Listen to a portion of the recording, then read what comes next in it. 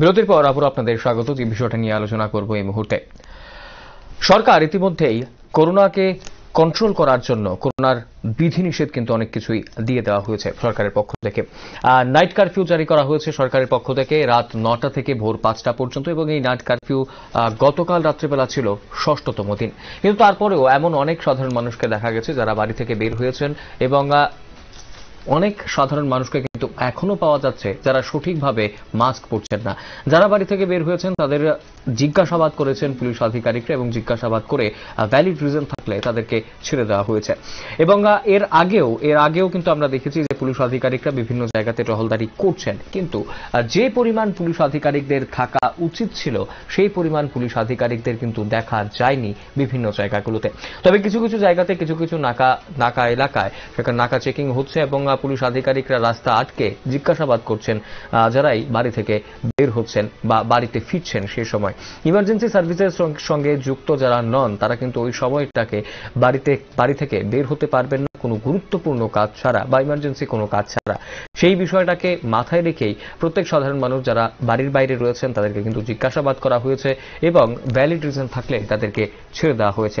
তো বিগত কিছুদিন আগেও আমরা এই বিষয়টা, গোটা বিষয়টা নিয়ে একটা আলোচনা করেছিলাম এবং ঠিক সেই সময় আমরা যেটা সরাসরি আপনাদের সামনে তুলে ধরেছিলাম, রাস্তাতে গাড়ি থেকে শুরু করে বাইক অনেক কিছুই ছিল, কিন্তু পুলিশ আধিকারিকদের সেই পরিমাণ দেখা কিন্তু মেলেনি।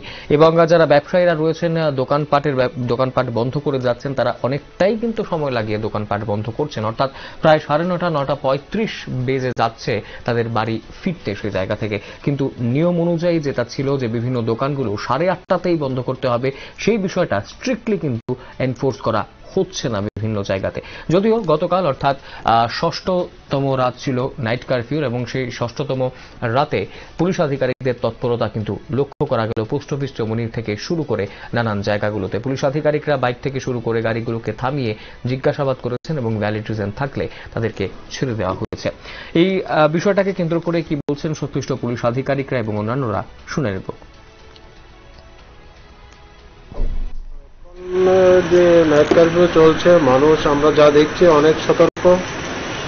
আমরা যা, তারপরেও আমরা চলছে, আমাদের কন্টিনিউ চলছে। দেখা যাচ্ছে মানুষ খুবই সতর্ক।